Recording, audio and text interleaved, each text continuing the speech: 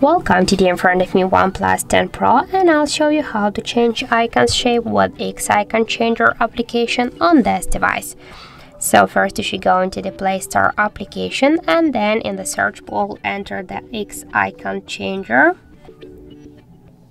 And now we have to get this application. So tap to install and wait a couple of seconds while the application downloading and then installing on your device. And after that just open the app here. Click yeah, here continue to app. And here we can select one from these available applications on our device. For example we can go with the contacts. Uh, here we can just change the name of this app if you want. Also we got here the library with the different folders and icons here.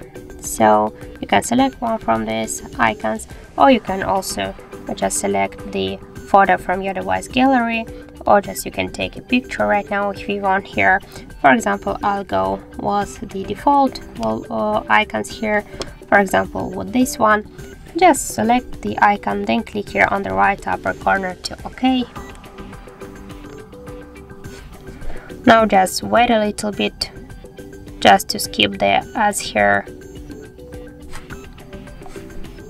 And click here to add this icon to home screen and now we can go to desktop or change the next icon if you want by the same way. And now here somewhere here in contacts just oh, sorry uh, we can change and we can see the difference with these two icons here.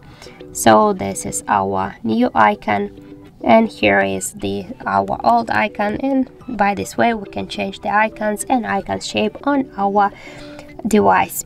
So that's it. Thank you for watching and if you find this video helpful don't forget to leave a like comment and to subscribe our channel